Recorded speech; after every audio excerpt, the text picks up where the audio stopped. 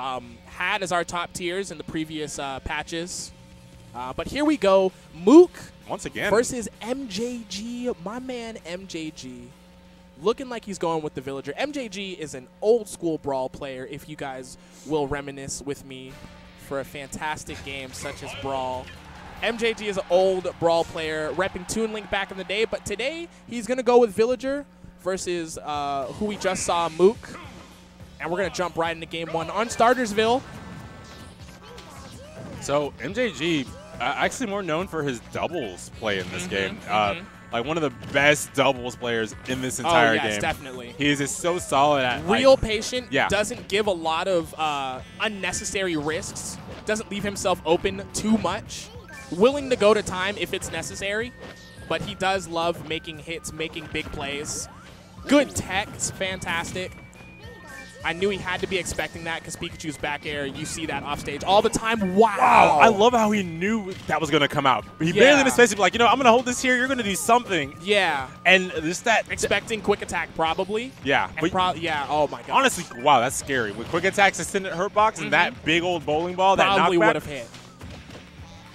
And we see Mook struggling right here in the mid range. Not too much in the long range, but in the mid range. What? I was oh, like- he is playing with fire. I think he tried to power shield that. I think that's the Mm-hmm. whole reason he ran up. There's like power shield, I'm gonna get a grab, but he's barely mistimed it. Yeah,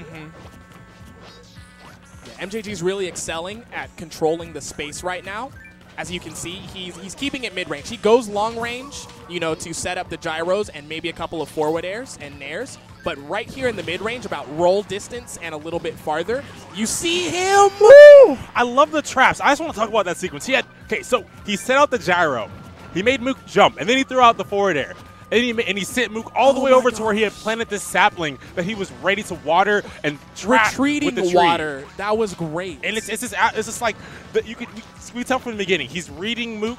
He's Mm-hmm. playing to where he's setting these traps, and that's what you want to see a villager do: Yeah. set traps, execute perfectly, and get so much damage so quickly. Yeah. Uh, Mook already on his second stock. Uh, MJG miles away from losing his first. Absolute phenomenal villager play right now from MJG. what Mook is going to have to do right now is find a way to deal with the forward air. Because the forward air, it doesn't look like the Lloid, the rocket is is is doing all the work. It's looking more like right here in this mid range. The fair is his problem right now. Yeah.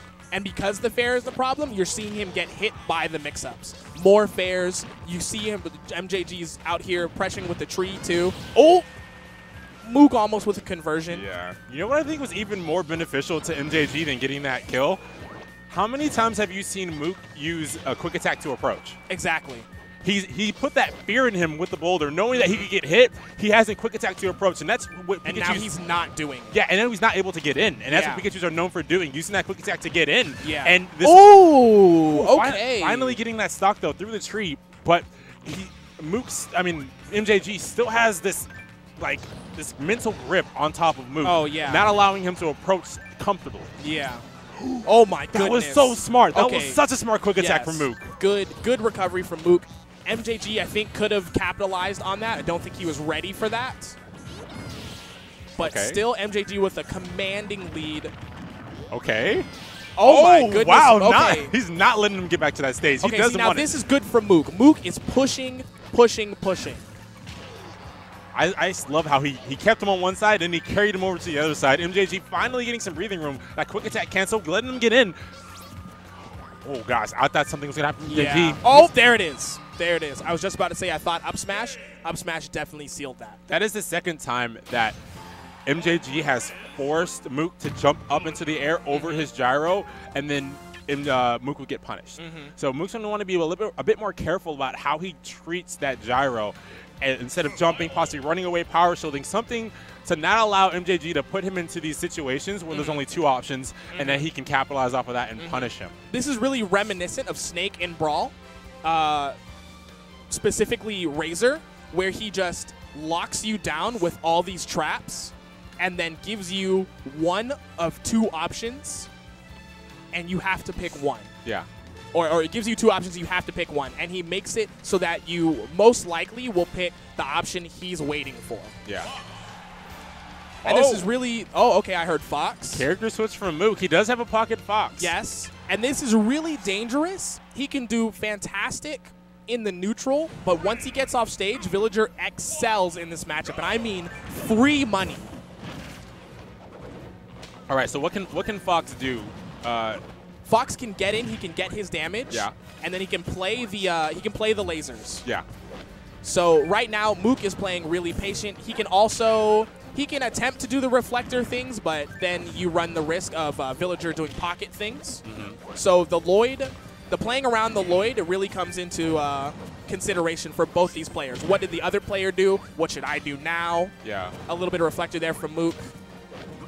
And I mean that was a big problem for Mook in game one. How to deal with that gyro? How to deal with this this these. Right. projectiles? Exactly. And uh, that reflector is going to be very useful for him if he utilizes it properly. I'm already seeing a bit of a better game. He's got uh, that percent, like you were saying, he's sitting back using the layers, Uh-huh. lasers, Yep. and then being a bit more patient, more reactive. Yep. Uh, and it's working out for him so far. Yeah. See what Fox can do is is exactly what Mook is doing right now, pushing the advantage when he has it, and then you know overcommitting sometimes just to continue to push pressure, but other times staying back, letting MJG, aim, aim, MJG, oh off stage. Okay, yeah, letting MJG make the mistakes instead of Mook this time around. Yes. Oh, okay. He got the Mook loves doing those trumps. Yeah. Oh my goodness, Man, he's he's so gung ho Oh sometimes, and he makes My my, heart. heart skip a couple my beats. heart, I was like, come on, you're doing so well. Don't run into that. Oh my god. Okay. All right, Mook still playing around with a little bit of fire. He can get gimped super easily if he overcommits to something at the wrong moment. We should be seeing a little bit of back air. There we go. From Mook. Getting that Lloid out of here. Doing such a good job of keeping MJG off the stage in the air, Mm-hmm. not allowing him to get that comfort zone that we saw him in Exactly. in that game, one. one. Exactly. Yep. See, MJG was expecting the reflection. Oh, okay. That's unfortunate. Okay, MJG has a possible ledge. Okay, Corner not able to get it. Good corner pressure. Mook passes him to the other side instead of off stage. Yeah, I was uh, that was questionable, honestly. I, I don't think he's sure how he to might be looking for damage. I don't know the damage differential. he has like no kill throws. I know he doesn't have kill throws, but which does back throw or forward throw do more damage might have been what he was thinking. Oh, okay, I see what you're saying. Because the higher his percentage, the, the less Mook has to look for an actual up smash, you know? Because if he whiffs up smash, that's free for Villager. Yeah, so uh, it's kind of going like, playing off of that. He's trying to find that safe kill option where he won't get punished if he flubs it, Mm-hmm. and he's just unable to do that. MJG doing a really good job of, you know, kind of still instilling that fear into Mook. Like, Right. if you do an up smash, I will kill you. Yeah. If you do one any smash attack, I will kill you. Yeah. And Mook's kind of playing with that in his mind, not taking that those risks that we were seeing uh, Yeah. in the early percents. But the other side of this coin is that Mook not having to commit to a, a, uh, a risky smash attack Oh my gosh, means I that thought he that has was to find to a raw way to kill, which may indeed actually have to be a smash attack at these later percents. Honestly. 176 forward throw does it, but he is at 117. Oh, and he taunted. Oh, come oh, on. Oh my goodness. Mook feeling himself. And this is where he can do a lot of damage as far as this match progression goes. He can get damage now, still being safe, but the more he does, the less he has to worry about if he gets killed. All And that'll be especially hard for MJG to come back from. That means MJG is going to have to push his advantages. He's going to have to apply pressure. Mook can sit back and do what he wants to do, but the mistakes are going to have to be made by MJG. And right now, Mook is pushing all the advantage he can possibly find. Yeah, he we, we saw it in that first stock. He had no problem racking up the percent. His issues were with finding that kill, that whiff grab, almost the end of uh, Mook's stock. And we are at the two minute mark. We may or may not see time depending on if MJG can get this stock off. Never mind. Oh, my Mook goodness. raw up smash takes it. Oh my goodness. Okay, commanding win, and this is what this is exactly what happened in the last set we saw Mook play with uh, with Surge, Surge the Mega Man. Is he lost game one, and then game two, Mook was in there, in there, like, gah! Yeah, he's where he struggled that first stock. Mm-hmm. He he was able to, I guess, since he was in that comfort zone of having two stocks, Yeah. he was able to analyze MJG's approach options, Yeah. his let's get ups, and that's what got him that stock. That Really let's get up read. sense. Yeah, he was just he was just able to look at things from like you know how you play friendlies and you can just do whatever. Yeah. you just have a good time. Kind of look at it from that friendly uh, aspect, not having that as much stress when you're put into those high percent stressful yeah, situations. Yeah. Very good for Mook, actually. Yeah. Fantastic play. MJG, not count him out, but he's going to have to find something else to do at the beginning of the game so that he ensures the first stock. yeah. Villager's not really that character that can aggressively pressure you, even though Villager can tack on damage. Yeah. It's not like Villager has something that you just always have to worry about in the close range. It's mostly mid range, and it's mostly because the other player's making the mistakes for you. Yes. I hear clicks for an Omega. Omega, Omega, Wii Fit. Omega Wii Fit. Omega Please, we gosh, fit. No. Yo, I need to hear Super Hoop. No. That is my favorite stage. yeah, that- that's my training you stage. and Gibbous. That's my training stage. I go to Omega Super Hoop and I uh, I listen. I'm Omega Super Hoop. I Omega go to Omega Super Wii Fit yeah. and I listen to Super Hoop and I just have a good time to stretch those legs. we're, we're going to be going. Let's get let's get a good stretch. It's just a good stretch. All right. But also, honestly, Battlefield, if I were to pick a stage like competitive thinking in mind, it would 100% be Battlefield. It's just so grounded, and those platforms are so helpful. Yep. And we're gonna kind of see MJG utilize those those platforms to keep Mook into these bad situations. Possibly see him camp up there and use uh, that forward smash. Yeah. It's probably gonna come to play on these platforms. So Mook right to there, we careful. saw. I think maybe I don't know if that was an input error, but we saw uh, MJG go for that early up tilt, that early uh, Wingardium Leviosa. Wingardium Levy. Oh my! God. Oh, he broke his shield! Oh my. Okay, what's okay? What? Oh my goodness! And he got the kill. No way! No way! Someone else shot that. Oh my gosh. Okay. This man. Yo, This man. yo, This man. Oh my, My life. gosh. my life! Oh my goodness! So so game one, we were talking about how he was struggling to take that first stock. yo, And what a way to come into game two and I take that first stock.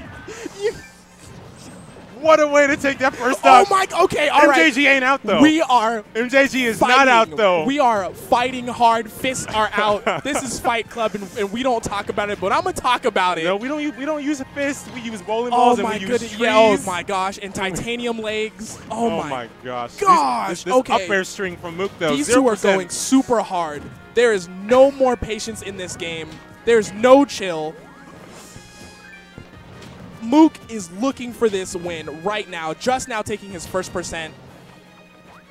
And now we're seeing him roll into Lloids. We see MJG starting to slow it down just a little bit. Yeah. I mean, if we Oh if, my if we see Mook get put into that offstage situation, like how he lost that first knock to that bowling ball, that bowling Yeah. ball having so much knockback, if he's put back into that situation, MJG can still net this stock super early, seeing how light Yep. Fox is. And Mook has to be careful not to put himself in the corner too much and get set off stage because it's going to be an easy gimp. Yeah, and this is an up smash from uh, from Mook as well. Yep. MJG needs to be very careful of how he places himself in Oh, the air. Oh, we such a good job placing that. Twice.